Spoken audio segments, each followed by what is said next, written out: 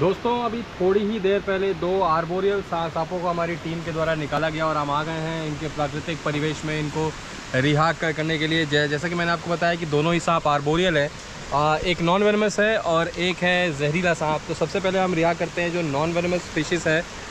वो है bronze back tree snake जी हाँ दोस्तों ब्रोंज बैक इसके ऊपर का जो ब्रोंज कलर का कलर है उसको देख के आप समझ समझ पा रहे होंगे कि क्यों उसको ये नाम दिया गया। डेंट्रोलिफिस ट्रिस्टिस इसका वैज्ञानिक नाम है और देखिए कितनी आसानी से ये पेड़ों पे चढ़ जा जाते हैं। बहुत ही कंफर्टेबल फील करते हैं ये पेड़ों पे।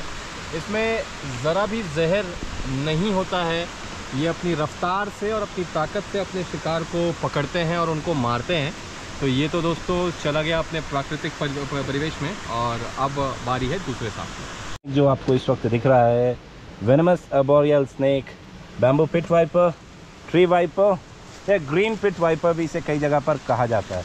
हमारा प्रयास है इसे ऐसे पेड़ पर छोड़ना जो इसके सर्वाइवल के लिए थोड़ा हेल्पफुल साबित होगा और हम प्रयास करेंगे कि ये इस पत्ते पर या इस लता पर जो है वो निकल आए।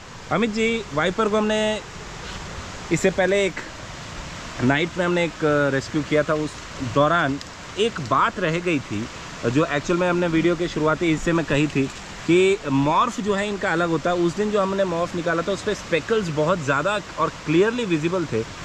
सबसे पहले दोस्तों, इसकी शारीरिक क्षमताओं को आप देखें। अमित जी, आपकी क्या टिप्पणी होगी? जो लोग कहते हैं कि सांप बेकार जीव हैं, आप इस विषय पर कोई पहले टिप्पणी करें, उसके बाद हम मॉफ्स पर आते हैं। आप, देख, दे, देख सकते हैं, कुछ भी बताने के लिए तो यहाँ पे है ही नहीं। ये जो बेल आप देख रहे हैं, बहुत ही कमज़ोर बेल है, लेकिन क्या बैलेंस इसने बना रखा है बिना हाथ, बिना पैर के। हाथ पैरों वाला इंसान को भी शर्म आ जाए इसका बैलेंस देख के। बहुत ही शानदार ये बैलेंस है। और बेकार जीव तो ये बिल्कुल भी नहीं है अच्छा जी। ये जो रोल प्ले करते हैं इन्वायरमेंट में, बहुत ही इंपॉर्टेंट रो रोल है। अगर सांपों को इन्वायरमेंट से निकाल दिया जाए तो जो डिज़ास्टर होगा, उसके बारे में इमेजिन करना भी मुश्किल है।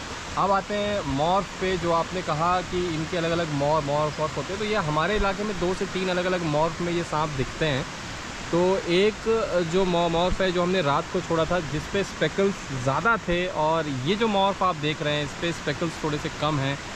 कुछ ऐसे भी सांप दिखते हैं जिस पे स्पेकल्स जो हैं वो ना के बराबर होते हैं। गहरा हरा रंग ऊपर होता है और नीचे जो है बिल्कुल चटकीला पीला रंग हो, होता है। ब्लैक स्पेकल्स जो है ऊपर नहीं होते हैं। ये कम्प्लीटली डिपेंड करता है कि ये किस इलाके में रहना पसंद करते हैं। इलाके के हिसाब से ये ढल जाते हैं। आपने और इन बच्चों ने भी समान टोपी लगाई हुई है। वन मितान कार्यक्रम में हम इस वक्त हैं और उसी दौरान ये रेस्क्यू किए गए सांपों को हम छोड़ रहे थे।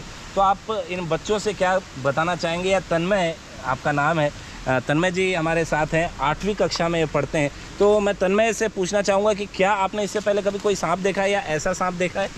ऐसा सांप देखा है। ज़ोर से ज़ोर से थोड़ा सा ऐसा सांप देखा है मैंने। इसके पहले आपने कहाँ देखा है? हमारे घर के घर पर। तो आपने क्या किया फिर? हमने कुछ नहीं किया। वो पेड़ पर था। हम लोग स्कूल से आ रहे थे। जी। तो स्कूल हम उसको कुछ नहीं करे। हम लोग अपना काम कर रहे सीधा घर चले गए। तो दोस्तों यहाँ छोटे बच्चे ने जो बात बताई है जो आठवीं क्लास के बच्चे ने बात बताई है कि सांप दिखने पर उन्होंने क्या किया? अमित जी, आप बताएँ कि क्या जवाब था इनका? तो तन्मय जी ने जो बात कही है, वो सबसे इम्पोर्टेंट है। आज प्रकृति को बचाने के लिए जो सबसे इम्पोर्टेंट काम आप कर सकते हैं, वो ये है कि आप प्रकृति से छेड़छाड़ ना करें। इसका मतलब है आप कुछ भी ना करें। आप प्रकृति से छेड़छाड़ ना करें। देखिए ये ये कम ही चैनल्स या कम ही लोग आपको ये बताएँगे, जो बात इस बच्चे ने आपको बता दी, कि कुछ ना करके आप प्रकृति को बचा सकते हैं। कुछ करने में तो शायद आपको मेहनत लग सकती है, लेकिन कुछ ना करने में कोई मेहनत नहीं लगती है। कृपया हमारी बात को माँ, मानिए, कुछ ना कीजिए। प्रकृति से छेड़छाड़ ना कीजिए, प्रकृति बची रहेगी और आपको भी बचाए रखेगी। आज के लिए इतना ही। जय हिंद, जय भारत।